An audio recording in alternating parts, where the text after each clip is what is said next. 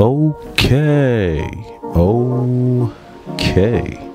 Mic check one two one two.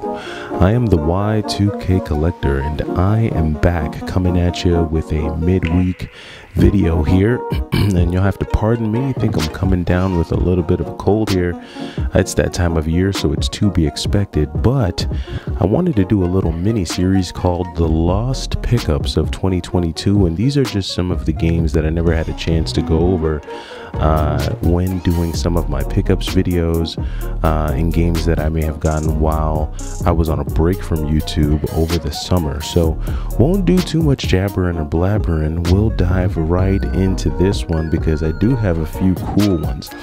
Gonna go ahead and start off with a system that I actually was able to snag and I'm gonna go ahead and, and show it here.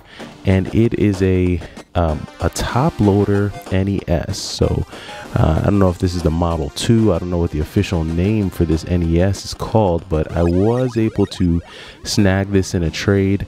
I had a few doubles on some Switch games and uh, decided to go ahead and make a trade for this guy because I had picked up some NES games at a uh, vintage store so this is really cool. It was clean. Glad to have it. And then it also comes with the cool little, uh, what's this, the dog bone controller for the NES. So this is a pretty cool pickup here. Uh, so glad to go ahead and have that one. Uh, another pickup here. Uh, this was from the uh, thrift store that I tend to visit frequently, and they sell these little bags of uh, DS games, sometimes for like 12 or 13 bucks. And I was there one day and happened to run into these two guys. Let me get these in focus.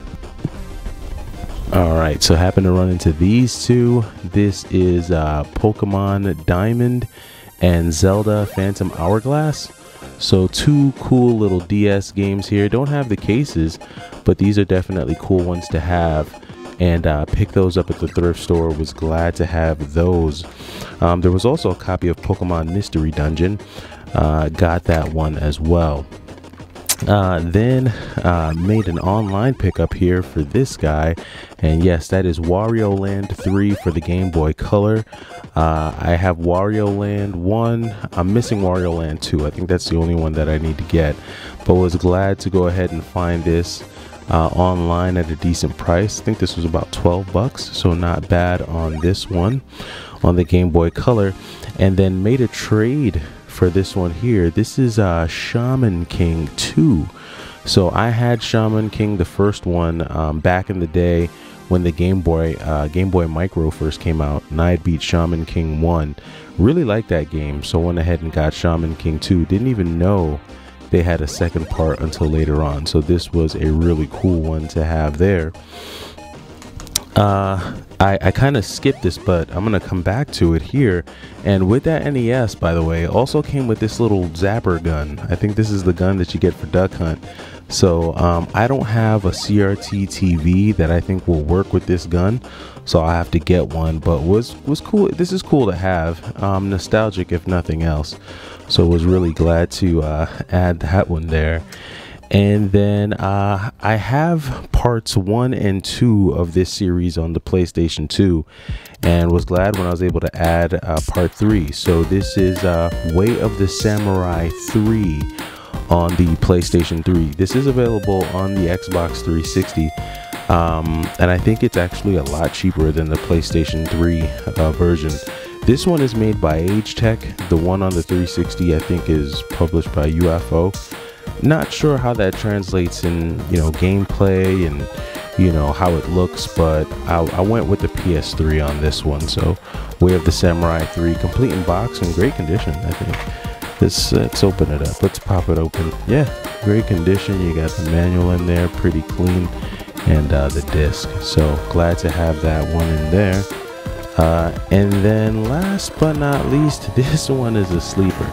This one, I, I was glad I was able to find it. Uh, this one I got online after making a few online sales.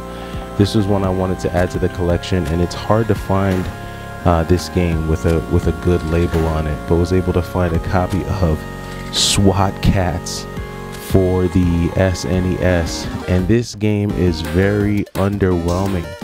Um, the label looks awesome. SWAT Kats, the cartoon show, was amazing.